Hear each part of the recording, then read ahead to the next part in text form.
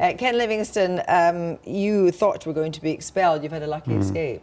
Well, I think that the Labour Party's barrister and lawyer were most probably saying to them, look, if you expel Ken Livingstone, he goes for judicial review, mm -hmm. you haven't got a cat in hell's chance of winning because you can have all sorts of arguments you like. But I did not say that Hitler was a Zionist. You had Labour MPs like John Mann claiming I'd said Hitler was Zionist. You had Wes Streeting saying I had a problem with anti Semitism.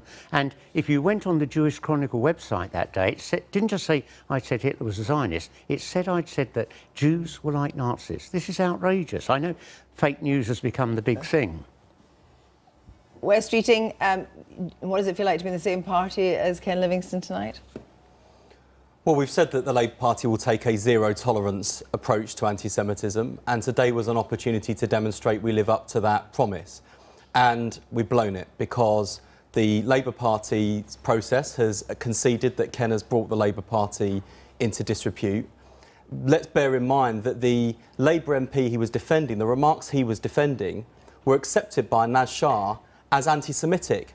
In fact, she is a model of how to respond when you make remarks that you don't where you don't understand the impact of your words, you make remarks, you apologise for them, you learn from it. She's undertaken to become a leading campaigner in the fight against anti Semitism. But Ken, on the other hand, uninvited, decided to wade into the debate, to defend the remarks which she accepted were anti-Semitic and has brought the Labour Party into, into dispute. And not only doing that, has since displayed a bizarre fascination with a tiny part of World War II history. There is, there is a website that counts the number of days since right. Ken last mentioned Hitler. And this matters because it comes up on the doorstep in constituencies like mine. You... And it looks like the Labour Party doesn't take uh, people like well, Ken who well, make gratuitous well, well, remarks. Ken, let, let, let's be this. Ken Livingstone, you are no um, uh, stranger to controversy, and hmm. often mm. in the past it's been like water off a duck's bag. Mm. But do you accept now that you know you are tainted and you will mm. not come back in any meaningful way to the Labour Party in any kind of form of office? Well, look, when I lost to Boris Johnson in 2012, I made clear in my concession speech that broadly that was the end of my political career. I campaigned for the Labour Party, but you know my wife's become a teacher. I'm the house husband. So this I'm not, is the I'm end not, of your political I'm career. Not, I didn't seek a parliamentary seat at the last election. I didn't ask Ed Miliband or Jeremy Corbyn to put me in the House of Lords. But you have been very supportive of Jeremy yes. Corbyn. And if you believe what Wes Streeting is saying, you've been very damaging on the doorstep. So essentially, you are damaging no, Jeremy Corbyn.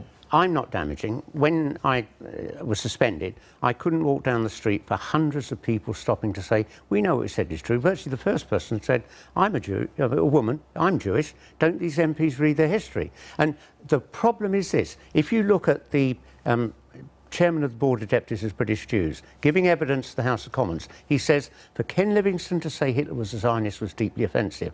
And that's part of the problem. There were these series of lies and smears that I'd said Hitler was a Zionist. Well, if I said Hitler was a Zionist, I wouldn't have just apologised. I'd ask my doctor if it wasn't the first sign of dementia. Here's a man who loathed and feared Jews all his life. But he did a deal with the Zionists, and I didn't even criticise the deal because 66,000 German Jews were moved to Palestine. If they hadn't, they'd have died in the gas chambers with six million others. Well, this now, Wes Streeting, would appear to be the end of the matter or not?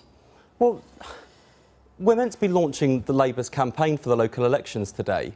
And instead of talking about the big issues in local elections, we're talking about Ken's bizarre fascination with the 1930s. And it is damaging the Labour Party and its reputation. And Ken has formed going right back to his second term as Mayor of London, where he has made, whether it was the offensive remarks made to a Jewish reporter at the Evening Standard or suggesting that Jews weren't voting Labour anymore because they've become wealthy. Ken has form when it comes to making ill-considered and incendiary remarks that offend the Jewish community. And Look, 10 years after you, finishing as Mayor you, of London, his name comes up on the doorstep in my constituency because you, he brings the Labour Party into disrepute. If you undermines our claim to be... like you said in that uh, post on your website, why did you ask me to come and campaign for you never... in the general election? We were walking around your constituency together. You did not come anywhere near my constituency during the general election, absolutely, I... and you would never it be welcome in my constituency. You did. You had when I, when I stood as a council candidate mm. back in 2010, Ken, you came to campaign for me then but you are not welcome in my constituency. You would well, not why, be welcomed by Jewish voters in my why constituency. And I'm not going to get drawn into this vendetta you... you have against me. The point I'm making is that your poor judgment, mm. your crass remarks, and your lack of apology Look.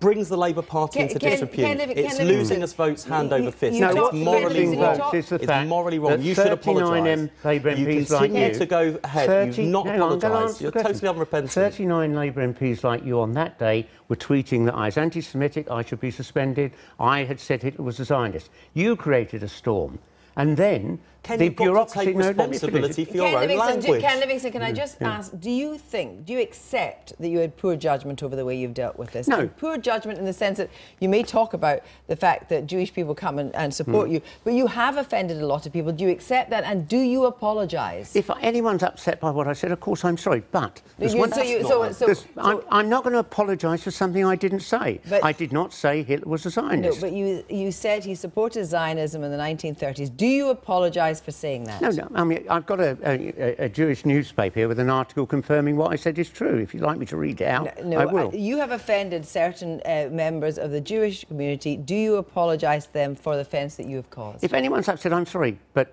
get them to check what I actually said because I can't tell you the number of Jewish people who came up to me and said, "We know what you said was true." Thank People you. aren't stupid. They heard what you said. They find it offensive, and you are damaging they the Labour Party. Thank you both- the lies that thank you both very much indeed. late-